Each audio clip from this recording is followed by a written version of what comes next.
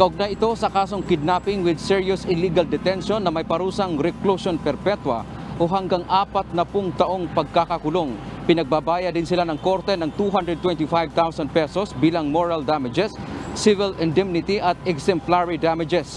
Nagugat ang kaso ng mag-asawa ng dukutin umano ng mga ito at ng iba pa nilang mga kasamahan ang apat na opisyal ng AFP kabilang ang complainant na si Lieutenant Abraham Casis noong 1988 sa Candelaria, Quezon Province at dinitine sa loob ng 75 araw.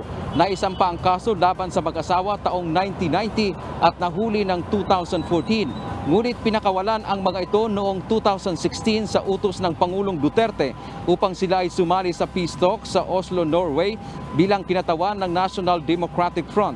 Subalit naudlot o dahil naudlot ang usapang pangkapayapaan ay muli silang pinaaresto ng Quezon City RTC noong August 2018. Kaugnay nito Monica, nagpahayag ng pagkatuwa ang iba't ibang ahensya ng pamahalaan kasunod ng hatol ng hukuman. Ayon kay Justice Secretary Minardo Guevara, bilang kalihim ng DOJ, isa itong tagumpay sa panig ng prosekusyon.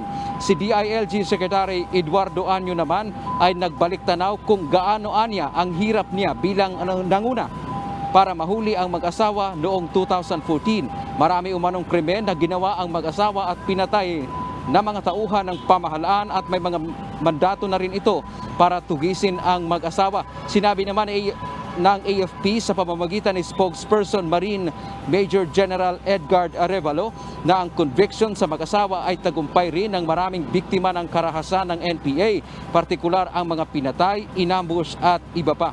Tulad ng ah, patuloy din nilang tutugisin o tulad ng PNP ay patuloy din nilang tutugisin at ang iba pang mga kasamahan ni na Tiamson. Ang pamunuan naman ng PNP ay nagpahayag na ito ay tagumpay at patunay ng pagiging efisyente ng mga prosecutor at investigator ng bansa. Gayon din patunay lamang ng pagkakasala ng mga komunistang grupo.